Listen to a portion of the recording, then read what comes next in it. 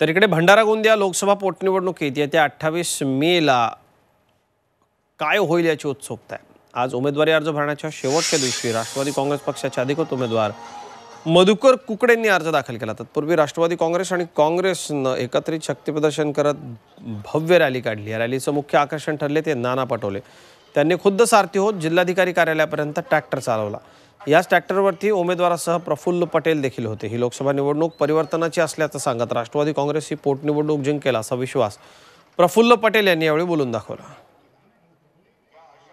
आमच्या भंडारा गोंदिया लोकसभा क्षेत्राची पोटनिवडणूकमध्ये काँग्रेस राष्ट्रवादी रिपब्लिकन पिडिपा अशी आम्ही आघाडी करून आमचे उमेदवार राष्ट्रवादीचे मधुकर कुकडे माजी आमदार होते त्यांना आम्ही इथे उभा केला आहे. लोक आज एक परिवर्तनासाठी वाट बघत आहे.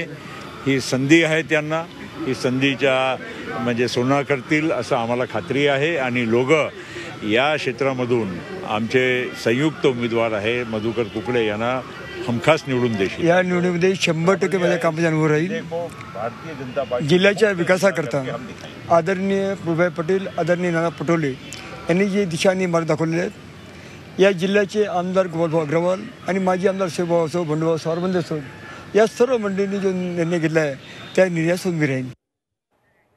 झी चोवीस तास रहा एक पाऊल पुढे.